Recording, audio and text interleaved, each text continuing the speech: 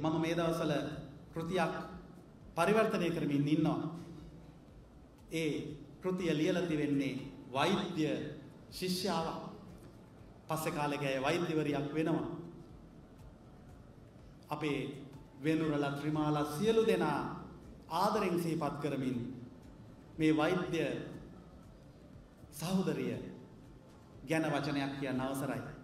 මේ වියට්නාම් මහා අරගලේ වියට්කොන් ගරිල්ලා වරියක් විදියට තමන්ගේ ජීවිතේ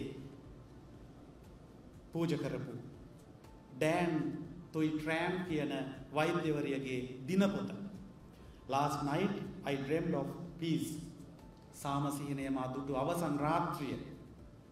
මේ තමයි ඒ කුරිරු අදවේදනා විඳිමින් මහ වනාන්තරවල වෛද්‍ය සහායනයක් කරගෙන තමන්ගේ වෙඩි වැදිලා අරන්ගෙන තමන්ගේ සහෝදර සහෝදරයන්ට සැත්කම් කරමින් තමන්ගේ ජීවිතය ගත කරපු විශිෂ්ට වෛද්‍යවරයෙකුගේ ජීවිත කතාව. ඇය හැනෝයි නගරේ ඉහළ පවුලකට අයිති වෙලා හිටියේ. ඇයට සුව පහසු ජීවිතයක් නියම වෙලා තිබුණා. ඔබ විශ්වාස කරන්න මෙතුමියගේ මෑණියන් සහ නැගණිය තවමත් ජීවත් වෙනවා. මේ පොත සිංහලට පරිවර්තනය කරලා ඒ මෑණියන්ට පිටපතක් ඉදිරිපත් කරන්න ආසාවක් මට තියෙනවා. මම මහාචාර්යවරයෙක් හැටියට තෝරගෙන තියෙන කාර්යභාරයේ එක කොටසක් තමයි මේ. ඒ නිසා මිය නොගොස් ඉතිරිවීම අපට පුළුවන් විශිෂ්ට වන්දියක් හැටියට සමාජයට පිරිනමන් ඒක තීරණය වෙන්නේ ඔබේ මගේ තෝරා ගැනීම උඩ. එහින්දා මෙබඳු කියවීම් වලින් අපි පෝෂණය වෙන්න ඕන. මං කැමති අපිට හිටපු තවත් හොඳ ශිෂ්‍යයෙක්ගේ කවියෙකුගේ කවියක් අවසන් වශයෙන් ඉදිරිපත් කරලා මගේ දේශනය කෙටි කරගන්න. සබරගමු විශ්වවිද්‍යාලයේ වෛද්‍ය පීඨය පටන් ගත්තා. හැබැයි මහාචාර්යකකය පටන් ගත්තේ නැහැ. කරුණු පෙන්වලා දුන්නා. පස්සේ මහාචාර්යකකය පටන් ගන්න පොරොන්දුව පිට සිසුන් බඳවාගෙන කටයුතු කරගෙන ආවා. මොකද්ද ප්‍රතිඵලය වුණේ? දැන් ඔවුන්ට වෛද්‍යවරුන් හැටියට සායනික පුහුණුව ලබන්න මහාචාර්යකකයක් නැහැ. ප්‍රතිඵලය වුණේ මොකද්ද? ගැටලුව හදනවා මේ දුෂ්ට දේශපාලන සංස්කෘතිය. ජීව විද්‍යාව හදාරලා ඒ තුනක් අරගෙන විශිෂ්ට සාමාර්ථයක් අරගෙන වෛද්‍යවරයෙක් වෙන්න විශ්වවිද්‍යාලයට ගියපු ආදරණීය දූ දරුවන්ට සිද්ධ වෙනවා අට්ටාලයක වාඩි වෙන්න. උන්ට සිද්ධ වුණා කොළඹ ඇවිල්ලා උද්ඝෝෂණය කරන්න.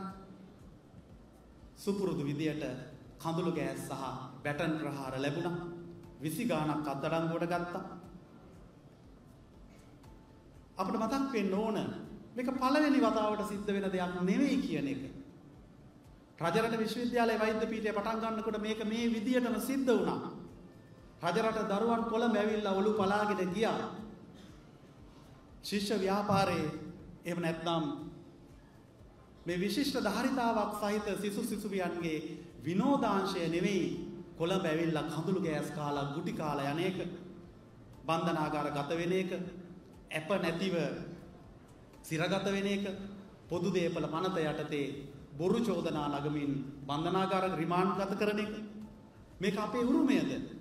මේක නතර වෙන්න ඕනේ නැද්ද? මේක නතර වෙන්න ඕන නම් ආදරණීය හිතවතුනි අපිට සිද්ධ වෙනවා මහා පුනර්ජීවනයක් ගැන හිතන්න. මේ දේශපාලන සංස්කෘතිය අවසන් කරන්න මේ ඝාතන සංස්කෘතිය නිම කරන්න නන්දන වීරරත්නගේ පොත් ගණනාවක් තියෙනවා ඔබ කියව ගන්න බටලන්ද ඝාතන කොමිසන් සභා වාර්තාව සිංහලෙන් හොඳින් පළ කරලා තියෙනවා ඒක කියවගත්තොත් ඔබට පුළුවන් මහජන විරෝධී විදියට මහජන වරමකින් තොරව දැන් අනුප්‍රාප්තික ජනාධිපතිවරයෙක් වෙලා ඉන්න කෙනාගේ කෙරුවාව තේරුම් ගන්න. එනම් දෙමව්පියන් හැටියට ගුරුවරුන් හැටියට ශිෂ්‍ය වීරවරුන්ගේ නාමයෙන් අපි එකතු විය යුත්තේ මේ ආශිෂ්ට දේශපාලන සංස්කෘතිය අවසන් කරලා මානවවාදී මානව භක්තියෙන් යුතු මහජන පාලනයක් අපේ රටේ ගොඩනගා ගන්න. එහෙම නැත්නම් අපිට හැමදාම සිද්ධ වෙන්නේ මේ විදිහට පහන් දල්වන්නද? මේ පහන් දල්වපු අතීත නාමලේඛනයට 2024න් 25න් එකතුනේ කවුද කියලා නාමලේඛනය දික් කරගන්නද? ඒක නෙවෙයි අපේ උරුමය. අපි සියලු දෙනා එකතු වෙන්න ඕන එතෙන්ට කියන එකයි මගේ අදහස